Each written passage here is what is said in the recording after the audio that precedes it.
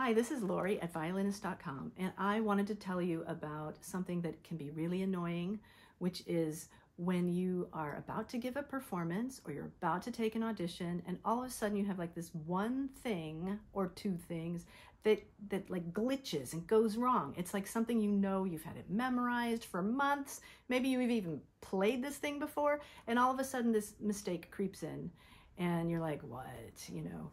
Um, what do you do? How do you fix it so your performance goes well, so your audition goes well? Well, first of all, I'll tell you what not to do. Here's what not to do. Just say to yourself, like, don't mess up, don't mess up.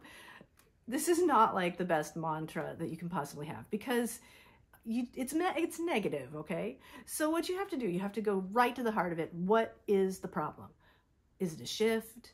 Is it like a fingering thing? Is it actually a bow thing where you're actually not doing a string crossing, something like that?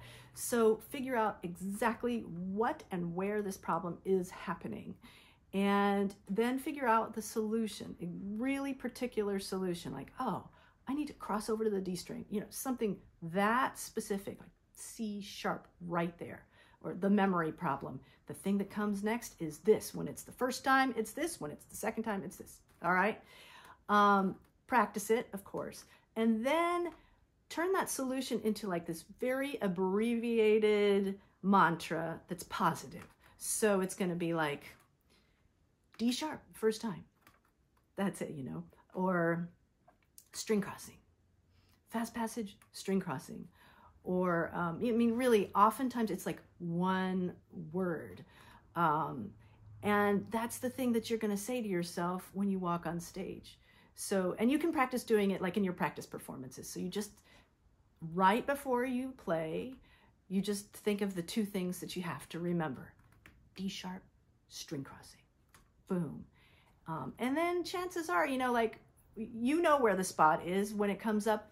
That's the thing that's going to come to your mind because you thought of it before, you thought it through, you thought of the positive solution.